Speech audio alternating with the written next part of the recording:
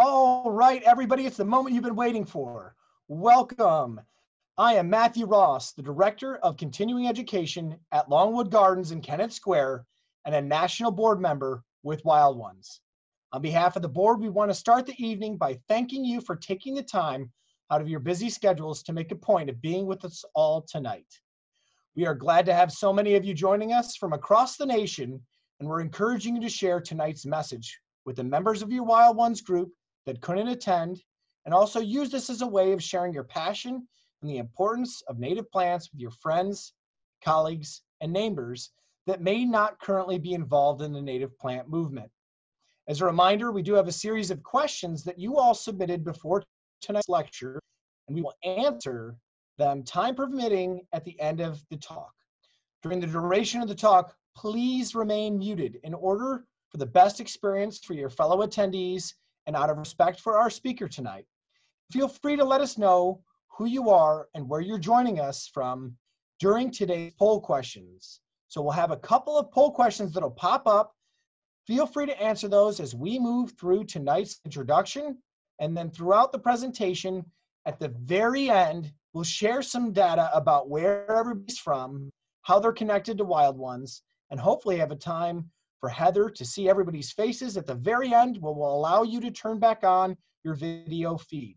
But for right now, please turn off your video feed and mute your microphones. I now have the distinct pleasure of introducing tonight's speaker, Heather Holm. She's a noted author and celebrated expert of our native bees and other pollinators.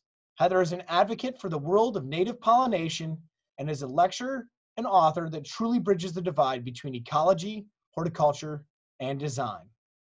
She's an award winning author, having penned two impressive books Pollinators of Native Plants in 2014, and Bees, I know a book is near dear to my heart that I have on my desk that I hope you all do too.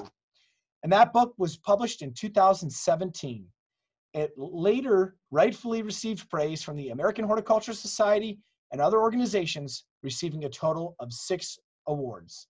It's truly the most comprehensive guide to our native bees that's out there, and we're very excited for her to share about one section of that book on Bombus. Heather is the newest honorary board member, joining the likes of Doug Tallamy, Neil Diboll, Donna VanBuecken, and the inspiration for Wild Ones, the late Lorrie Otto. If you've ever had the pleasure of hearing Heather present, her passion is contagious and her message is one that resonates across the spectrum from home gardener to practitioner land steward to farmer. I encourage you to check out the various Facebook groups that Heather is involved in, including the Pollinators Native Plants group, where she shares tips from the field on how to attract and build a landscape that encourages pollinators to take residence in your garden. Without further ado, I welcome Heather Holm as she presents the Bombus Among Us Bumblebee Basics.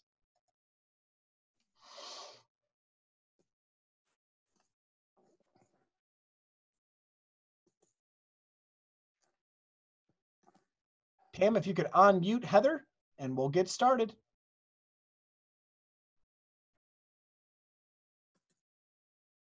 Great, it looks like I'm unmuted. Well, thanks very much, Matt, for the introduction and for everyone joining us this evening. It's a pleasure to be presenting as the new honorary director for Wild Ones. I'm also involved in a local Wild Ones chapter in where I live in the Twin Cities in Minnesota.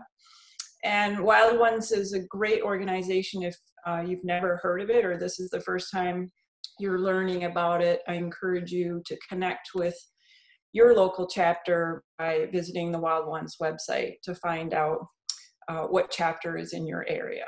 So tonight I'm going to be talking about one sort of narrow section of native bees, our, our charismatic and um, bumblebees. I often think of them as, you know, our cuddly teddy bears of, of the native bee world. And they're very endearing. And one of the nice things about bumblebees is um, they're very easy for people to identify. So even if someone who doesn't really know anything about bees, if you ask them to name three kinds of bees, uh, bumblebees would be usually one of those three in the list that they they tell you. So They are uh, easily recognizable. We have a few uh, bee species, such as the large carpenter bee, that can look similar, and sometimes some some types of flies that are bumblebee mimics. But for the most part, um, they're a great place to start, especially if you're just getting into bees and are interested in learning more about identifying bees. Um, bumblebees are a wonderful place to start. So tonight's presentation, I'll be getting in depth and detail about bumblebees, their life cycle, and I want to emphasize, and I'm hopefully, hopefully I'll do so, um, how that all relates to what's going on in, in our gardens and landscapes that we're managing. So the reason I'm going to give you so much life cycle information is it's really about the seasonality and, and your own observations of when you're seeing bumblebees, what are their needs at a particular time of year. And I'm going to finish off the presentation. I'm just going to touch on some of those bumblebee ID things to get you started, featuring three or four common species and, and what to look for and how to use guides. And then we'll be also throughout the presentation, I'm going to be weaving in specific plants. Matthew will be uh, either posting some resource links that I've provided or uh, the Wild Ones folks will be following up and sending you the resource links. And that's one of one of my last slides. So if you, I may skip over it quickly, but don't worry, you'll get that information. So just talking in general about bee diversity, many people are just unaware of how many different kinds of bee species we have here in North America, north of Mexico. And the approximate number is close to 4,000 species. So to give you some perspective, uh, the honeybee, which is a single species in North America, is just one out of the 4,000. Uh, I live in Minnesota and we're a fairly large state, so we have over 450 species. Last night I gave a presentation to a plant organization in Massachusetts, and Massachusetts has uh, just how 150. indeed does explain um, It's really dependent on uh, with great molecular detail. And I will also say, I'm not going to read any of these. You can Uh, okay, if watching this It's really TV, like, on um, the size of the state and the, the biomes and all those other factors will determine uh, how many bumble or bee species you may have. So you can see on my slide here, in the United States, we have 51 species. 21 of those occur in the eastern US. So for those of you that are living in the Midwest like I am, uh, we tend to straddle both the eastern and western species. So we pick up a few more. Um, so for example, in, in Minnesota, we have 23 species. All right, there we go. Well, All right, so as a native bee advocate, sometimes my job can be quite difficult because the general public tends to base their knowledge around how a honeybee behaves. And honeybees are actually an introduced species to North America. They're, they're, you can think of them as a domesticated species. And they were actually introduced in the early 1600s, 1630s is the approximate date that they were brought over from Europe to, to North America. So their lifestyle and what makes my job difficult is their lifestyle is very, very different than most of our native bees. Honeybees are highly social. Um, part of that sociality is due to their domestication. They live in our northern temperate climates in managed hives, and each hive can contain anywhere from 10 to 50,000 bees. So that's a lot of bees living together. And if the hive survives the winter, uh, typically honeybees are perennial. So that queen can live a very long time doing all the primary egg laying. Now you compare that with most of our native bees, 90% of them have a solitary lifestyle. So it's just a single female bee that's actively looking for a place to nest, going to flowers and making many trips back and forth to collect pollen and nectar bringing those materials to the nest that she's prepared and then laying eggs. So she's doing all the work that would happen in um, a social honeybee hive of many, many bees dividing up the labor. Now of the 100% of native bees, 10% uh, that are, are social and that's where bumblebees fall in and that's what we'll be talking about tonight. Uh, we also have some sweat bees that have a social lifestyle, but our bumblebees are probably our most social native bee that we have here in North America. Now, in comparison, their colonies that they produce are very tiny in comparison to honeybees. So a single bumblebee colony may produce as uh, anywhere from 200 to maybe 800 bumblebees in one growing season. So that's a big, big difference than a honeybee hive where there's 10 to 50,000 bees.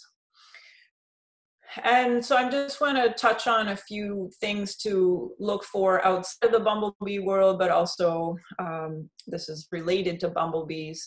And I want to talk about just basic pollen collection and pollinator observation.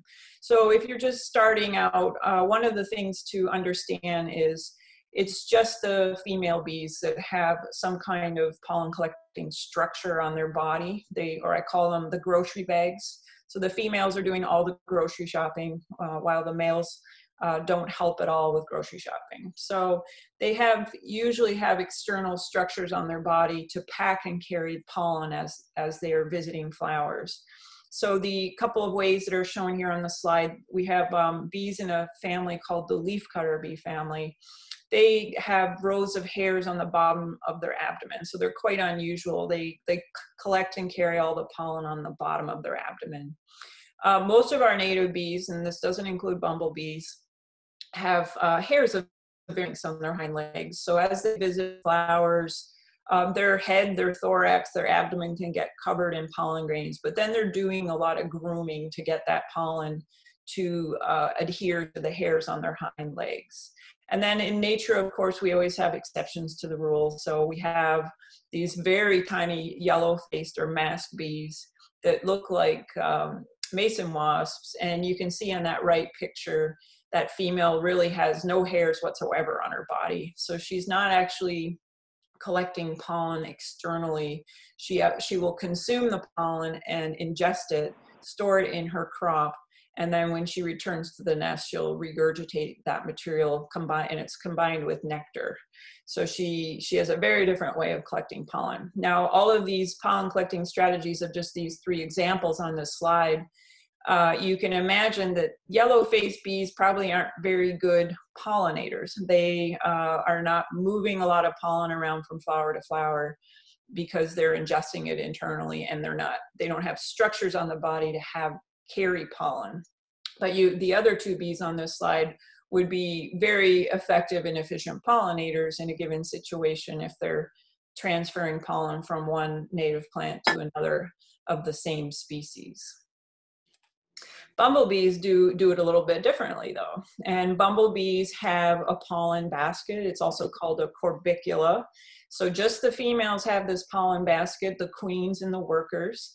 And I call it the orange football. So it's a, you can see on my uh, blow up of that picture of the hind leg. It's a flared, uh, the tibia on the hind leg is flared and it's smooth. It has a smooth sort of concave indentation and then it's surrounded with wiry bristly hairs.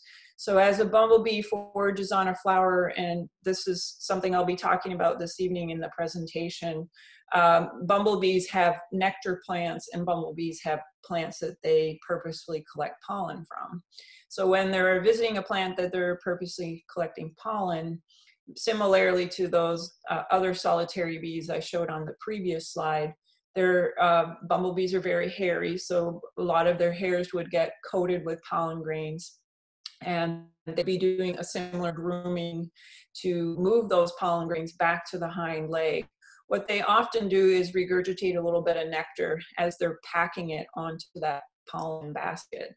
So I've, I've actually photographed bumblebee uh, workers where they have different colors of pollen sort of uh, in, in rows or layers on, on their pollen basket because they've visited uh, a number of different plant species. Uh, and then there's the other exception to the rule is cuckoo bees.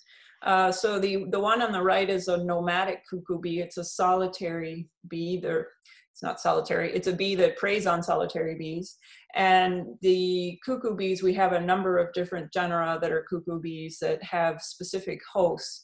And they were named cuckoo bees by uh, Europeans when they came to North America because they were familiar with the cuckoo bird. And for those of you that are birders in the audience, um, the cuckoo bird is very has a very similar mo as our north american cowbird so the cowbirds don't uh, build or construct their own nest. They look for another bird actively laying eggs and and um, sitting on a nest. They slip inside and lay their eggs.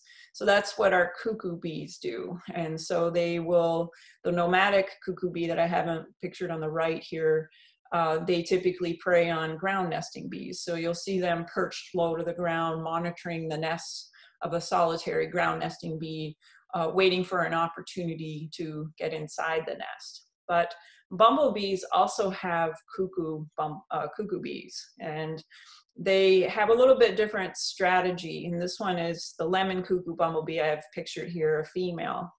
Now they don't have any pollen collecting structures. And the reason is the females, they just have females and males, so they don't have the same um, hierarchy as a regular bumblebee, which would have a queen, workers, and males.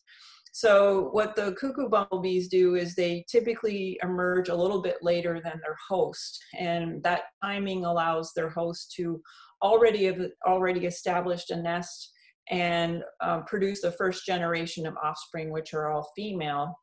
And that's the point in time that the cuckoo bumblebee will invade a nest um, through aggression or other means, either kill or drive out the host queen. And then she takes over the nest, starts doing her own egg laying to rear her own offspring. And again, through pheromones and sometimes aggression, will convince the host worker bumblebees to rear her offspring. So uh, cuckoo bumblebees and similarly cuckoo bees can be an indication of um, that you have good bee diversity. And, and the second thing is that the host is present if you, if you see them. So I'm going to get into why are bumblebees amazing and important, and there's a number of reasons. Um, Bumblebees, I mentioned 51 species in the US.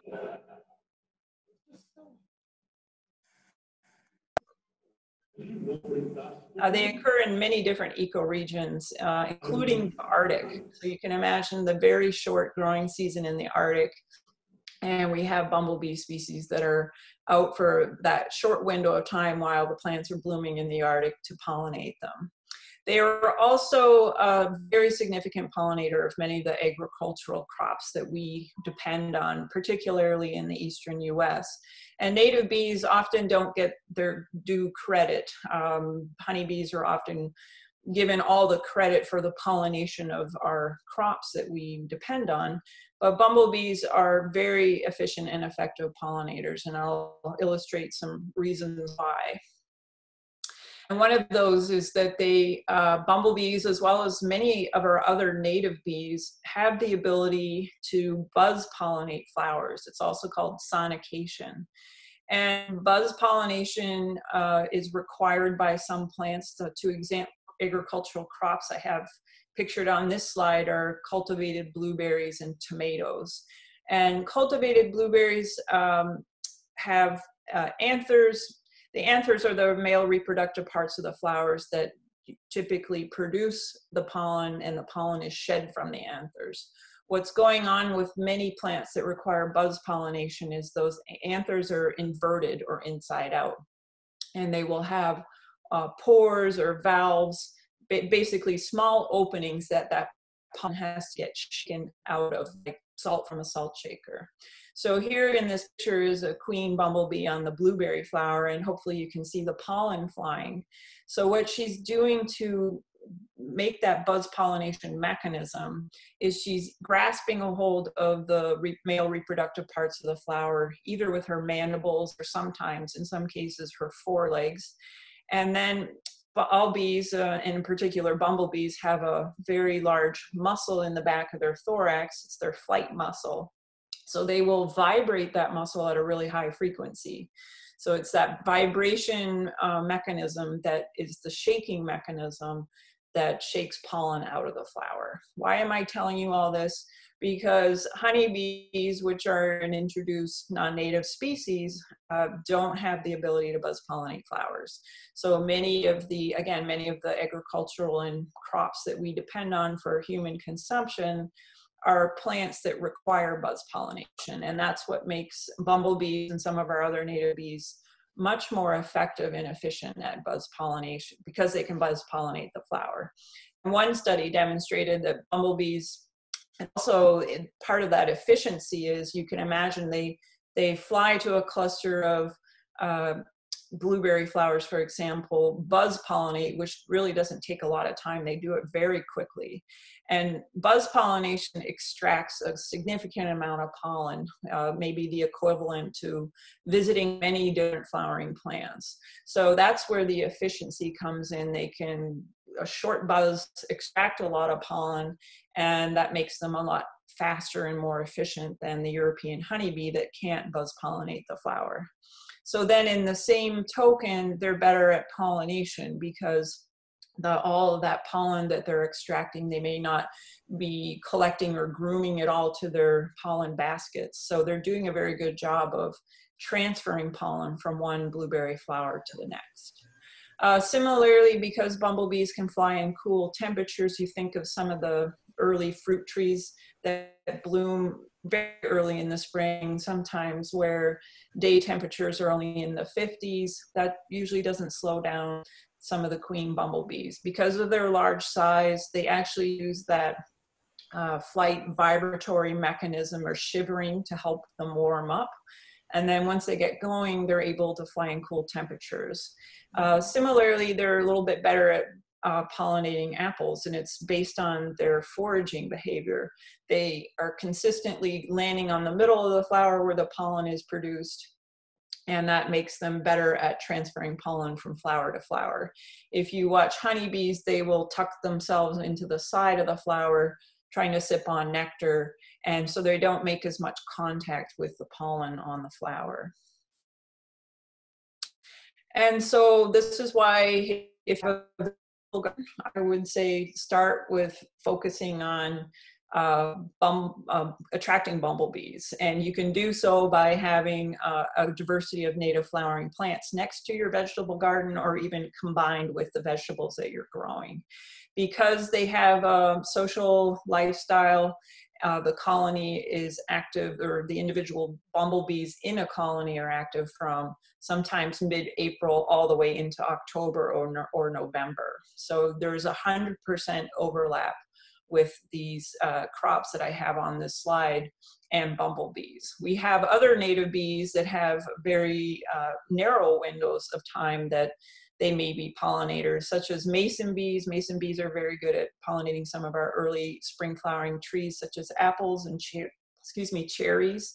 But they have uh, a six-week life six week lifespan, so they are very good at one thing, but they can't cover all of the uh, fruits and vegetables that uh, bumblebees can.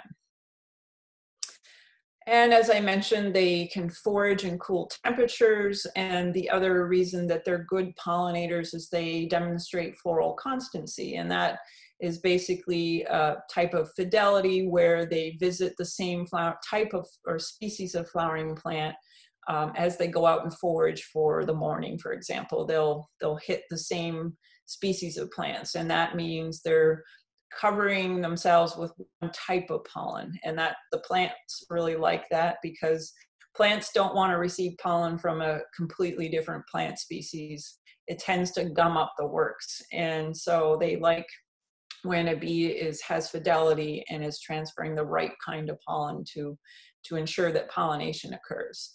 Uh, bumblebees also have some of the longest tongues of our native bees. So start thinking about the flowering plants you're growing in your garden. You have you know, a variety of uh, open flower forms and complex flower forms. Uh, this bumblebee squeezing herself into this blue lobelia flower. She has the, the size and the strength to pry open the flower, and then the second piece is she has a long tongue, so it's no problem for her to sip on the nectar at the bottom of the flower where the nectaries occur. So getting into um, bee nutrition, and this doesn't just apply to bumblebees, this applies to all bees. And bees are uh, closely related to wasps. So if you think of thread-waisted wasps, um, for example, the great golden digger wasp or the great black wasp, their bees are closely related to that part of the wasp um, uh, Hymenoptera tree. And um, of course, they're not very much like wasps anymore. Um, bees have become very hairy for the most part. And the other significant di difference from their wasp cousins is their wasp cousins are carnivorous. They're, uh, those females are out hunting other insects to feed their offspring. And probably with the radiation of flowering plants, uh, bees decided that uh, flowering plants were providing a good nutritional source in the form of plant plant-based food, pollen and nectar. So they have basically become vegetarian and they're getting all of their protein and fats from pollen and their nectar supply, supplies carbohydrates as well as free amino acids. I'll be talking about those free amino acids later in the bumblebee life cycle and why uh, certain plants are important that are high in free amino acids. So as we already talked about, the female bees in all, in all bees, not just bumblebees, are the pollen collectors or the grocery shoppers. And bumblebees have been called generalists. And what that means is we've always thought that they, because they have this long colony cycle throughout the growing season, and they're producing uh, they have queens and workers and males that are out foraging on different plants. We always assumed that bumblebees would just visit any and all plants that they could uh, physically access the resources from. Uh, there's some new research by Robert Gegear in Massachusetts that's demonstrating that each bumblebee species of the 51 species we have in the US um, they they're not generalists. They have their own sort of suite of plants that they prefer to collect pollen from, and their own suite of plants that they like to get nectar from. I'll touch a little bit about the, on that a little bit later. I also want to mention because many of you are already uh, native plant enthusiasts, and one of the really neat things about the evolutionary relationship between native bees and native plants is approximately 25% of the solitary bees, this doesn't include bumblebees, in the eastern US are pollen collecting specialists. And what that means is those solitary female bees will only collect pollen from sometimes just a single plant family. Often it's the Asteraceae family. And even there's even more narrow specialists that only collect pollen from a single plant genus. So that's one reason why native plants are so important for all of our native bees. And uh, if you're on social media and every spring, uh, there's a bunch of memes that go around and people are touting the um, benefits of dandelion, saying that it's the first flower to bloom in the spring. And that's not the case whatsoever where I live in the upper Midwest. And I believe in many, many other parts of the Northern US. Uh, we have uh, native shrubs such as willow, red maple trees that bloom long before dandelions. What's important to remember is dandelions can be an adequate nectar source for bees. Uh, and I'm not telling you to go use herbicide and spray all your dandelions in your lawn, but they're not the be all and end all. You can't just say, I've got spring covered because I have dandelions blooming. And what uh, the information I have on this slide is demonstrating that Dandelions have very, they're not, they're nutritionally poor. The pollen has a low protein content. So a couple of studies looked at if they could rear honeybee larvae on just dandelion pollen, and they found that they weren't able to rear them to adulthood because it's because the pollen was so nutritionally poor.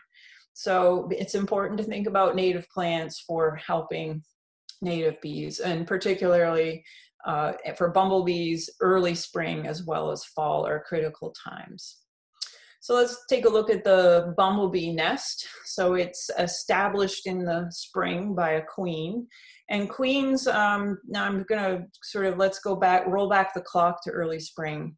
Uh, you're out in your garden and you may see this really large bumblebee and that's going to be a queen. The queens are always larger than the workers of the same species. And that's illustrated here on this in this photo.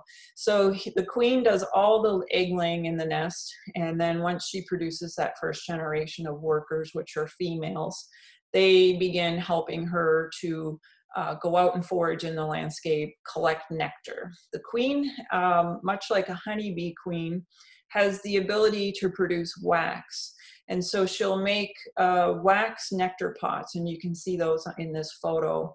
So when a foraging worker comes back, she's uh, stored nectar in her crop, and then she'll regurgitate it back into a nectar pot. This is kind of like uh, a refrigerator, but without the refrigeration, but a food store, a root cellar.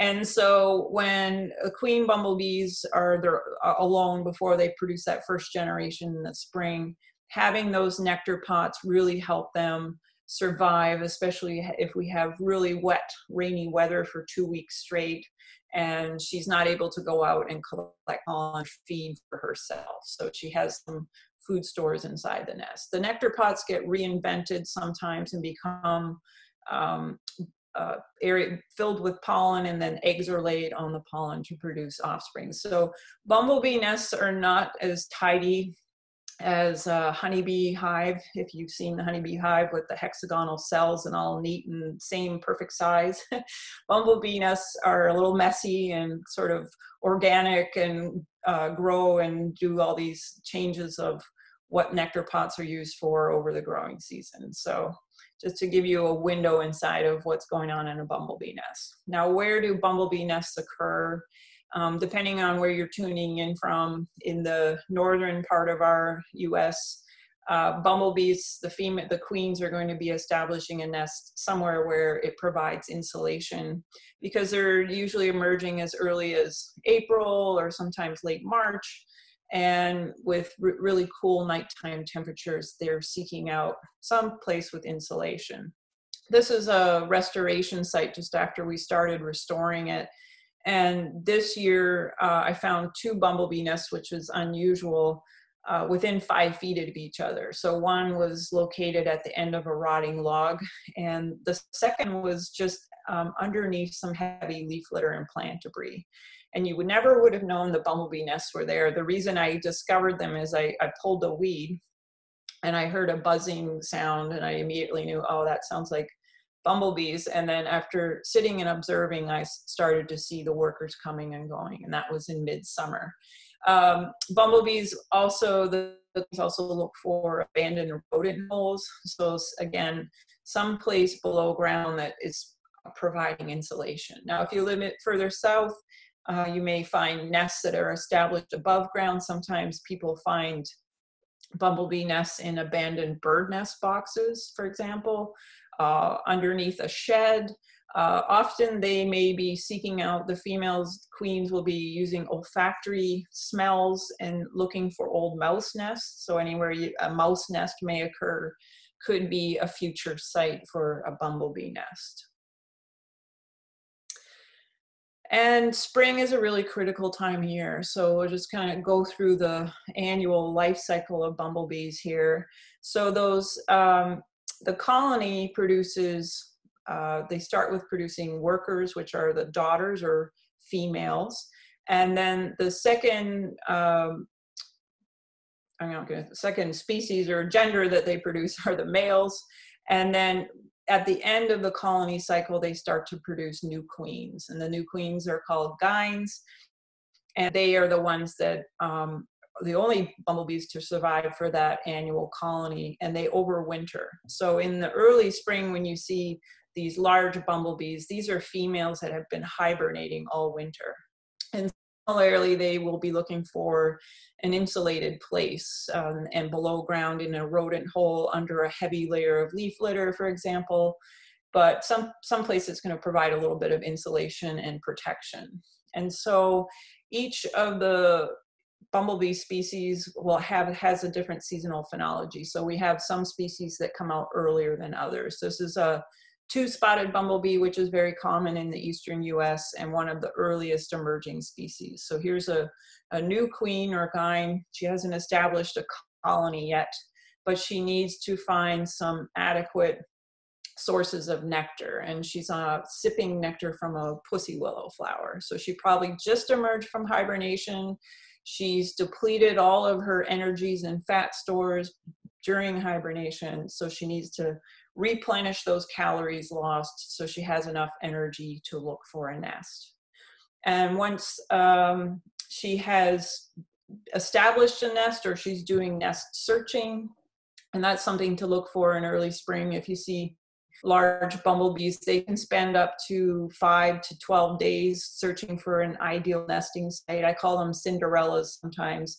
I've, I have followed queens around looking for nests and they will do a lot of investigation. They may look at um, holes in in the ground, or if you have a, a rock or re retaining wall, for example, they may investigate the cavities between the rocks. But it takes it takes a lot of time for them to come to the final choice of where they where they uh, want to nest. Once they've established a nest, the, the queens still have all the all the uh, onus to go out and forage for pollen and nectar. So they not only are trying to keep themselves alive and have calories by visiting flowering plants such as the ones I have on the slide. These are uh, nectar plants that you'll typically see queens visiting. And so she's just building up energy while she's uh, getting ready to start laying eggs. The, the second piece that's really important for queens is pollen sources. So in order to produce that first generation, she needs to create that large pollen ball that you saw on the nest slide, lay multiple eggs on that, and then that will, that's where her first generation of females or workers uh, consume that pollen and, and develop. So in our gardens and landscapes, we really don't see a lot of bumblebees for that period of time between when the queens are active and doing their nest searching and maybe you'll catch them visiting a flower. Then there's a lull. And then once that first generation of workers are produced, the females, uh, then bumblebee activity tends to pick up in our landscapes. So in where I live in the upper Midwest, that's not usually until the end of June or mid-June we start to see uh, bumblebee workers coming out. The workers, again, are smaller than the queens uh, of the same species. So they'd be a little bit tinier, but this is obviously a female. She's got a very big pollen load on her hind legs as she's visiting purple prairie clover. And so this is where pollen, pollen plants are really important. And these are some examples of perennials that either queens or workers will be collecting pollen from. Um, going back to buzz pollination, buzz pollination isn't only used for plants that have inverted anthers like the blueberries. Uh, many of our native plants are nectarless. So some examples on this slide are the partridge pea, St. John's wort, and spiderwort. They're all nectarless plants and you will hear if you have good hearing you'll hear bumblebees uh, buzz pollinating those flowers to extract the pollen so these are all pollen sources for the for the bumblebees whether it's a queen or worker so very important um, piece to think about in your garden so they have that pollen so that they can start um, producing more and more offspring and it's not just perennial. Some of our early spring flowering shrubs will also be good pollen sources, especially uh, currants, uh, blackberries, raspberries, dewberries provide a good pollen source. Uh, native blueberries and cranberries, spirea, and, as well as the plums. And the big one, another one that's uh, nectarless, is our native roses.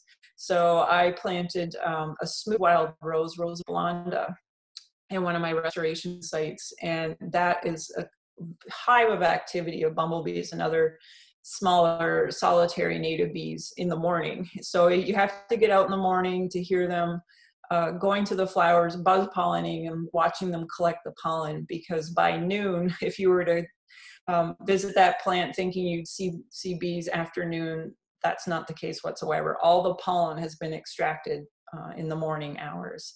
Something to keep in mind about when you're doing your observations and to vary it so you, you catch all of these things going on.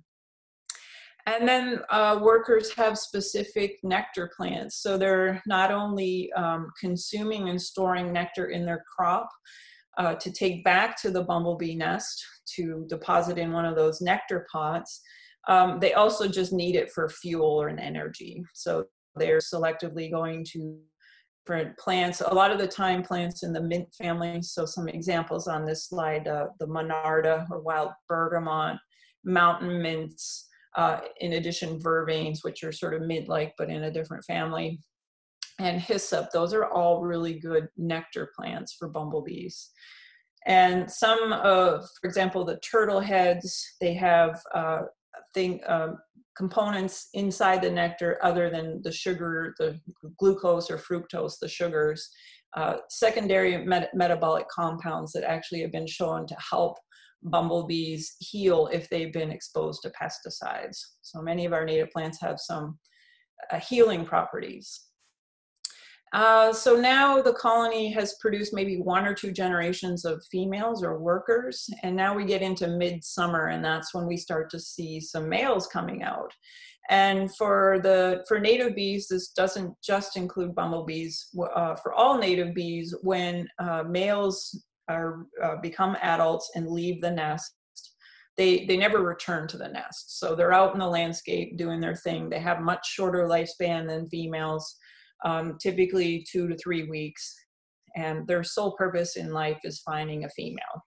And many of our male species, uh, including this black and gold bumblebee I have on this slide, or another example is the brown belted bumblebee, they, they can have really large eyes. And what he's doing uh, with his large eyes is setting up a perch or a territory on, on top of a tall plant in a prairie. And you can see his antenna are sticking straight out, so he's using the sen sensory apparatus on his antenna to pick up smells or other um, sensory things to see if there's a, a new queen out and about. And he will chase off doing sort of boomerang flights. He'll chase off other males to, um, to keep them out of his territory that he's established. So uh, males are, they have to fuel these mate searching activities. And similarly, they have their own suite of nectar plants. And they're the, sometimes the nectar plants that they prefer, the male bumblebees versus the females, um, can be very different. The Monarda is an exception. You'll find any and all uh, genders of bumblebees visiting Monarda.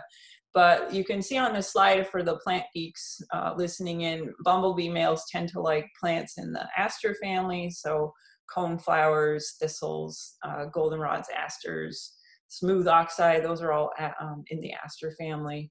And then you also see certain bumblebee species preferentially going to milkweed. So that brown belted bumblebee is, is visiting common milkweed. So males are not consuming pollen, just nectar and nectar is helping to just keep them going long enough. Okay, so males are out, and now this is where we're just after male production, the colony starts producing new queens, and these are the gynes. And the new queens, um, they have a little bit different lifestyle. So they, they leave the nest during the day, and what they do is they practice foraging. So this is a rusty patch queen visiting blazing star flowers. And what she is selectively going to plants that have a good nectar source because she needs to build up fat stores uh, to survive her hibernation in the winter. And the this sort of pre-hibernation feeding can go on anywhere from approximately 12 days and while the females are out doing this practicing, they go back to the colony where they were raised at night. So they do this for about 12 days. And while they're out visiting flowers, building up their fat stores, that's when the males uh, usually find them and mating occurs. And uh, there's some physiological changes that happen once the female has consumed enough calories and started to build, build up enough fat stores at some point in time, she decides that she's not going back to the nest. She's going to go off and, and search for her place where she will overwinter. And so the native perennials in late summer in our gardens in early fall are critical for these gynes. And the ones that I have shown on the slide, many of them have nectar that is has high free amino acid concentrations and it's those free amino acids as well as the sugars in the nectar that help those new queens build their fat stores. So um, for example, liatris and um, the goldenrod are excellent in uh, very good plants to have in your garden to support new bumblebee queens. And then uh, that's when the males find the females. And you can see the, the size difference between a male and female. Males are much smaller, much like the workers are smaller than the queens. Sometimes it's rather hilarious to see the size difference of them trying to mate, but um, that's the case. And so the females or the que new queens are so busy trying to build fat stores that they, they uh, generally put up with the uh, mating attempts by the males while they're out in, in the landscape. All right, I want to get quickly into some bumblebee anatomy to roll up our sleeves and start thinking about some how to begin with BID and starting with bumblebees. And bumblebees, like uh, many insects, have three distinct parts of their body, uh, including the head, the thorax, and the abdomen. Now, the abdomen uh, on bees is divided in either six or seven segments. So on this slide, this is a female. Females have uh, six abdominal segments, and males have seven. So that's one um, physiological difference between a male and a female.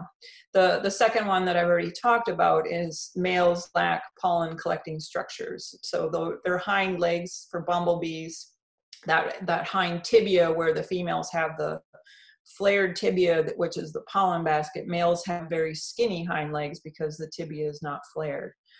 Uh, so this is really important if you're trying to differentiate if you're looking at bumblebees is it a male or female? And if you get a good photograph or a good observation you can usually count the number of abdominal segments. And the abdominal segments are important because they're each uh, covered in different hair colors per, depending on the species.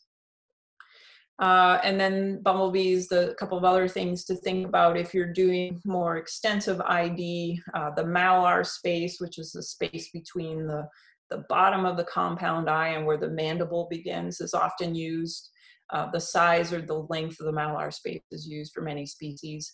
Um, also the simple eyes, so those three small eyes on the top of the head that bees and wasps have that helps them um, detect sunlight and helps orient them back to their nest. So bumblebees, when they leave, uh, are using those simple eyes to figure out where the nest is location based on the direction of the sun so that they go out and forage for the morning, collect their pollen, and are able to come back and find the nest.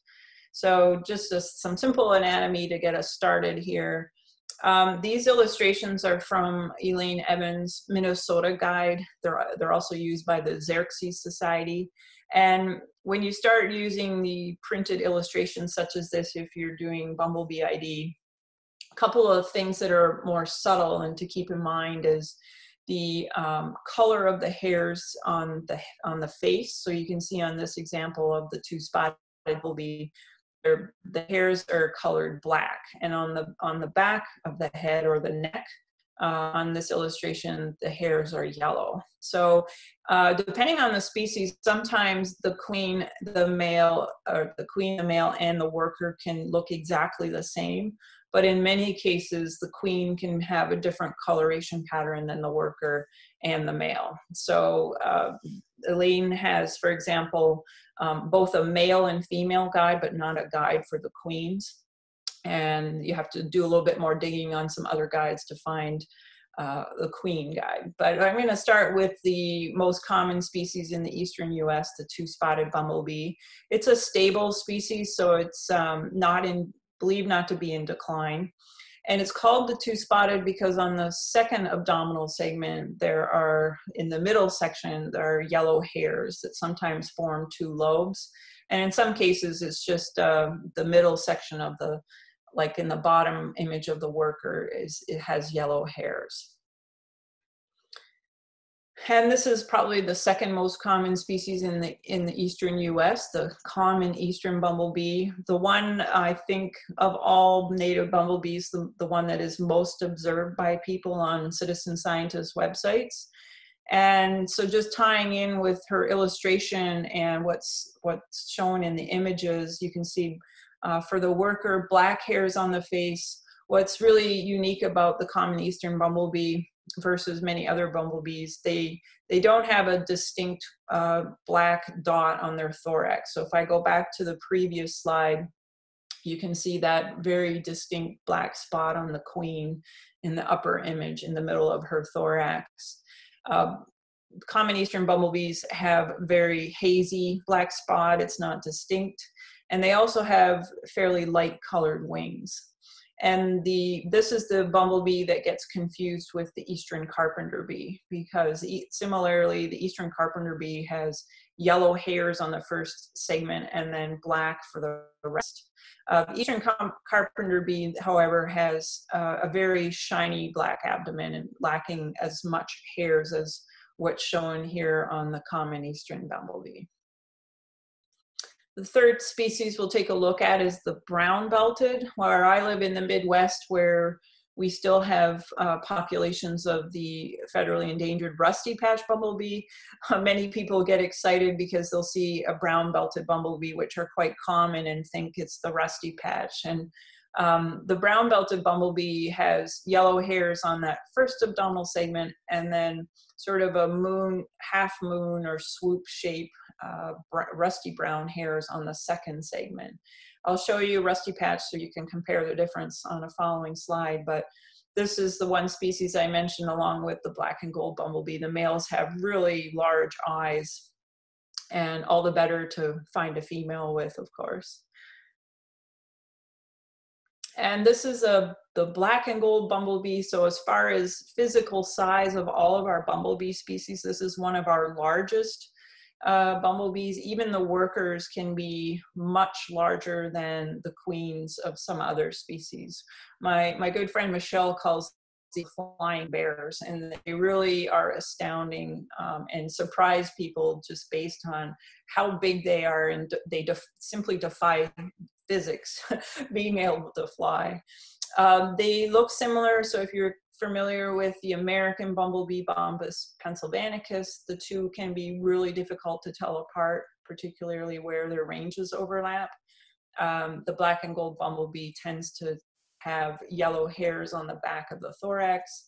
And the uh, other significant thing to look for is the position of the simple eyes. So this is where you would have to gently capture, capture a bumblebee and look up close and then let her go to to determine whether you have a, a black and gold or a, an American bumblebee. So we have uh, a number of bumblebee species in decline. I showed you those, those species that I just showed you are relatively stable and common, and in some cases the populations are increasing. But for the rest of our bumblebee species, uh, they're, most of them are in decline. And the one that has had the most precipitous decline is the federally endangered rusty patch bumblebee. So you can see uh, prior to about 2010, this bee ranged throughout much of eastern north, north northeastern North America and the upper Midwest. It was one of the most common species found in surveys. And then um, in 2010, it just literally disappeared from the province of Ontario and Michigan. And part of the reason why it's in decline is because a pathogen was introduced from managed bumblebees that was being used in greenhouse uh, tomato and pepper production in southern Ontario and in Michigan. So those um, domesticated managed bumblebee colonies escaped and got out into the wild and spread the pathogen. But it's not just the pathogen, of course, for many of our native bees in decline, it's uh, habitat loss and just lack of adequate amount of flowering plants. So Rusty Patch, we'll see what happens with the Rusty Patch. We had a, anecdotally a very good pretty good year here in Minnesota as far as their population, but we won't know more until the experts can analyze all of the seasonal data and survey data. So bumblebees are, yeah, they're they're being hit very hard, uh, similarly to a lot of our other native fauna. Um, some of the things things that are really concerning are nutritional stress, and so climate change is a big unknown. And we know that plants are not producing pollen of the same quality or of nutrition as they were historically. So even if we were to have a native plant community that had the same plants in it that was uh, occurred 100 years ago, bees would, would have had much more nutritional components in the same flowering plants.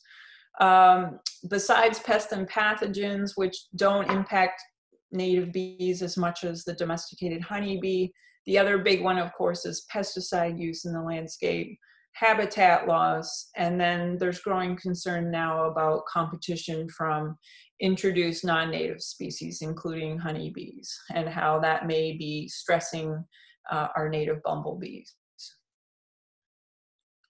So there's no uh, there's no reason to get depressed about the landscape because these are some really drastic examples of where we could do a whole lot better. And I think I think of commercial landscapes and residential landscapes in particular as being um, really important ways that we can easily influence homeowners and people who are managing commercial sites. That's a target parking lot in my community. Um, why aren't we just need to think a little bit differently about how what plants we're planting and how the, the landscapes are managed. So habitat loss is a, is something that we can solve, and it starts with um, individuals, and I'll get into a little bit more about that in a couple slides here. But climate change, as I mentioned, is a big unknown. So if we're having warmer winters, those queens, those new queens that are hibernating may be, they're taking different phenological cues, not just day length, daylight, um, but also if they're hibernating below ground, they may be using soil temperatures as a cue to, to emerge. And uh, for example, last spring here in where I live in the upper Midwest, we had a really wet and cold, rainy spring for two, two to three weeks. So that can have really be impactful for a new queen if she's just established a colony and then she's unable to go out and forage and uh, collect pollen and nectar because of the weather. Bumblebees uh, will also be impacted by increasing temperatures and one study uh, looked at whether bumblebees would move, species would move north as temperatures warm or in um, high altitudes, whether they would move up in altitude. And uh, they found that that's not the case. So they're, they're, they're remaining, the populations are remaining static, even though our climate is warming and changing. So that's one concern, um, how they will be impacted. How can you help bumblebees? Well, I know many of you here are already uh, landscaping with native plants, maybe on the in, on your home uh, home garden level, or you're doing restorations on a larger scale. And that's exactly how we can help bumblebees as well as our other native bees. The obvious thing that we need to provide them is native plants and that includes a diversity of different flowering plants. So the ones that I highlighted here this evening, um, but in general, if you want to serve serve up food or have the restaurant open for all native bees, you need a variety of flower colors and flower forms, and you need a continuous succession succession of flowering plants throughout the growing season. So thinking about early spring as an important time of year for those new queens to have good sources of pollen because they need that pollen in order to produce their first generation of offspring. And then getting into summer and fall, that the nectar plants are going to serve the workers as well as the new queens and the males. So we can do this in combination of planting flowering trees, flowering shrubs, and perennials. Often people think we forget about the, the woody plants and the importance that they provide for pollinators, particularly in early spring. So I always re remind people in early spring, don't forget to look up. So if you're looking for, if you're a pollinator observer and you're looking down at the ground expecting to see activity, sometimes all the bees are up in the trees because uh, for those trees that are insect pollinated, um, they can be very good sources of pollen and nectar for our native bees. And finally, if you uh, plant a beautiful native plant landscape, this is the garden of our chapter president, Marilyn Torkelson. Um, you don't want to provide all these beautiful flowering plants flowering throughout the growing season, all these different flower colors, and continue to use pesticides. So you don't want to make your garden a pollinator sink. And that's exactly what you'd be doing if Marilyn went out and started spraying all our plants with pesticides. So if we're going to commit to helping pollinators, we got to leave the leave the chemical bottles on the shelf and not not use them in our landscapes. And we have to think a little bit differently about managing landscapes. So I just showed you a couple of examples where bumblebee nests may occur, but thinking about uh, not doing a whole lot of gardening in fall because those queens may have tucked themselves underneath leaf litter in your garden to hibernate. They may have been attracted to a rodent hole, so don't put poison down rodent holes. Um, so all of those sort of messier, what we would call messier components if we were a a very tidy gardener are important things to have to attract bumblebees um, to, for overwintering and for potential nesting sites. And finally, I know many of you already do this, but it's important to continue to advocate for the preservation and restoration of our native plant communities. This is the state park in, in, in Minnesota where I live. It's a beautiful dry sand prairie uh, it's protected, and these are the spaces that really support rare native bee species and also support our bumblebees that are in decline. So we have to continue to advocate that these are spaces are preserved as well as converting land and restoring it to the native plant communities that used to be there or may be more resilient in the future. These are the resources that I mentioned that Matt or uh, Pam will send you or post. So don't worry about scribbling all these down uh, for those that are watching the recording. Um, this is more for, for them if they want to look at the links. So I've got some citizen scientist opportunities, Bumblebee Watch, iNaturalist are two that you can upload photos of bumblebees that you've taken, and then experts will help you identify them to species. If you live out east near Massachusetts, there's a wonderful project called the Beecology Project, and that is Oh, the this is Ed, it looks like. Project. And he, you will be helping him sort of determine what are the specific native plant needs for each bumblebee species? What are their pollen plants and what are their nectar plants? And there's a number of resources for bee, um, bumblebee identification as well that are in those links that will be sent out to you. So thank you so much for tuning in and sticking with me. I hope you learned uh, a little bit about bumblebees this evening. And I look forward to seeing you in person at some point in time post COVID. Well, Heather, this is the time where we get a chance to answer some questions. But first, I want to thank you for a thrilling presentation. And uh, we learned a lot today and had a great time. But we had a couple questions that were asked by our guests, but that they sent in ahead of time. And one of them relates directly to what you were talking about at the end with um, the relationship between bumblebees and manicuring your landscape. But T. Shipley asked the question, what happens when a bumblebee makes a nest in my compost pile. Yeah, that's a tough one because once that queen has decided after a week or so of being picky and she's chosen your compost pile, there's really not much you can do. Um, you would you really have to just leave it alone for the growing season. And i know that's not what um, the person asking the question wanted to hear but there's been many attempts to relocate bumblebee nests and usually that's that's not a successful endeavor. So remember i talked about orientation and bumblebees uh, using those simple eyes and other cues to help them find the nest or know where the nest is so that when they come back they can find the nest so if we were to just suddenly relocate the nest uh, you would have a lot of very confused bumblebee workers flying around wondering uh, where the nest went so that's one reason why nest relocation is really difficult. What you can do though, if it's early in the growing season, is contact your local university bee lab. And sometimes they will come and collect the queen and the nest and use that in the lab for study. And then, so the, the, the colony would be growing in the lab. So that's one way that you can help researchers and not, not destroy the nest. Sounds like a great idea. Uh, we had a couple questions about stinging, and as as uh, Donna had asked, as I work in the garden, I get up close and personal with many of the pollinators. Are there specific pollinators that are more likely to sting me, and are bumblebees one of those pollinators that could sting me? So all bees uh, and and wasps, for that matter, um, just the females have a stinger or sting, and have the ability to sting.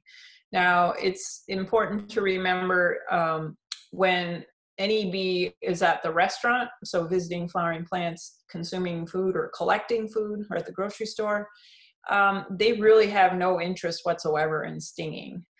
Generally when someone is stung it's when um, they've disturbed a nest um, or the second usually situation is a bee flies uh, flies uh, at you and maybe gets caught in your clothing and in its own defense just stings you because it's trying to escape from being caught in your shirt for example. So usually uh, stinging is not an intentional thing that bees go and seek out to do. um, but they, particularly for the social species like bumblebees and honeybees, they they really resent having their nests disturbed. And can you blame them? Right? It's a home invasion. Exactly. so that's that's what you want to avoid. Yeah. Uh, I just want to share the poll results real briefly. Uh, the region of the country that was most well represented is is where I'm originally from and where you're at in the Midwest, with 70% of our attendees coming from the Midwest, followed by the South with 15%, Northeast with 10%, and five of you, 5% of you from out west. 73% of tonight's attendees are currently Wild One members, which is great.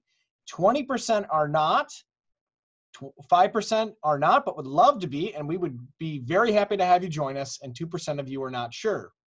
Uh, one great way to find out if you are a Wild One member is to reach out uh, to us on our website and try to get into the members area to see if your membership has recently lapsed. Or you might have gotten an email letting you know that.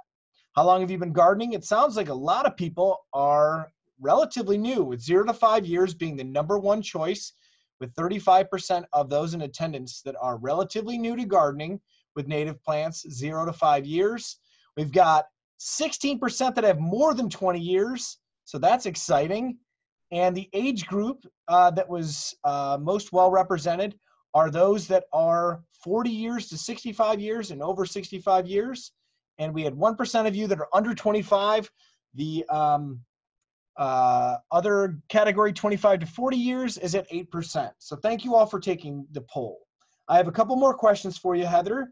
Um, I wanted to find out on behalf of Haney, what, what can I do to encourage bumblebees to build nests in my yard? And I know you had a couple uh, mentions to stumps and the mulch layer, but are there other things that you could do to really encourage bumblebees to see our yards as a place to raise their young?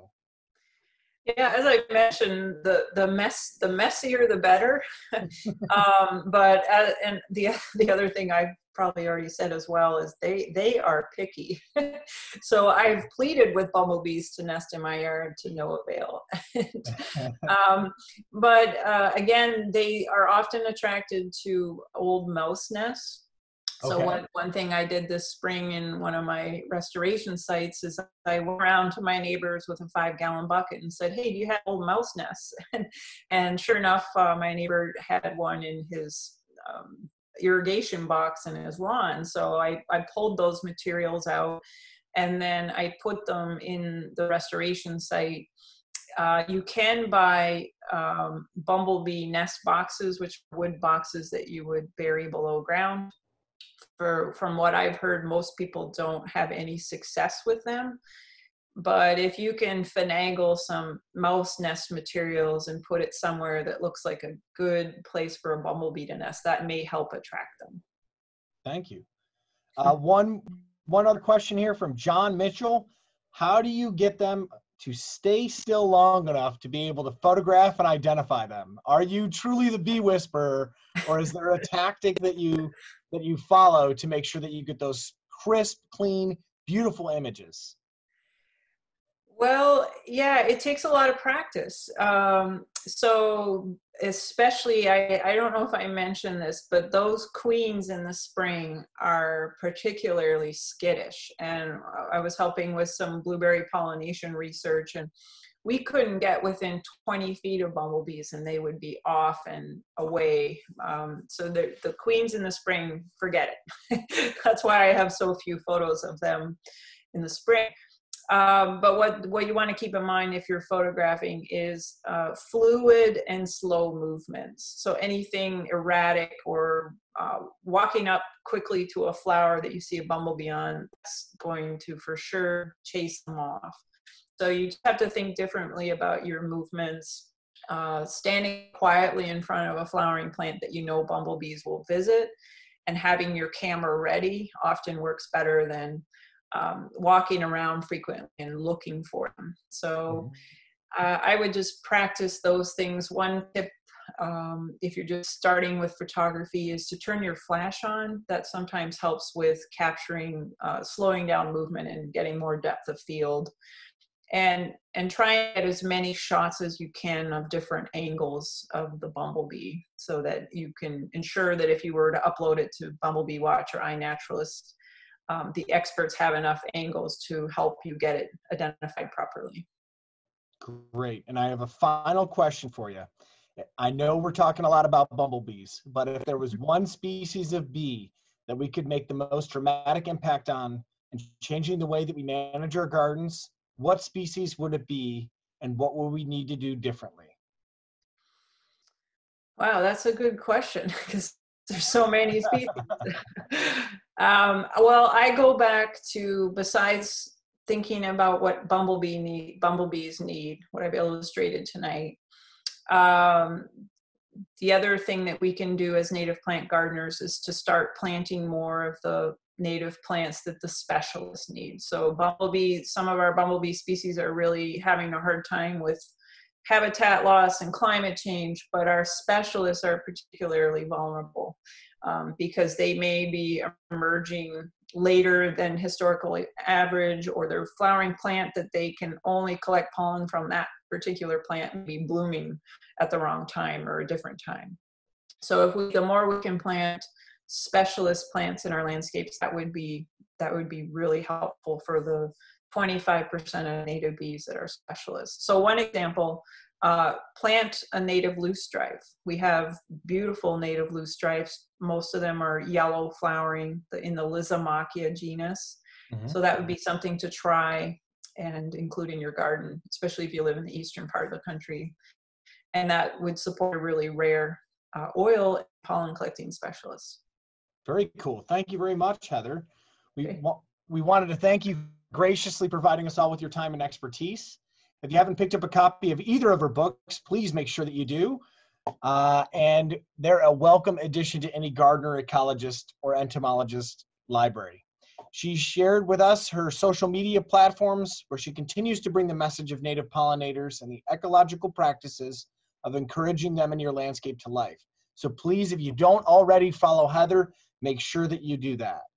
You see on the screen right now, we have our photography contest, which is open, and we encourage you to submit your photos of your favorite native plants in one of six categories or all of six categories.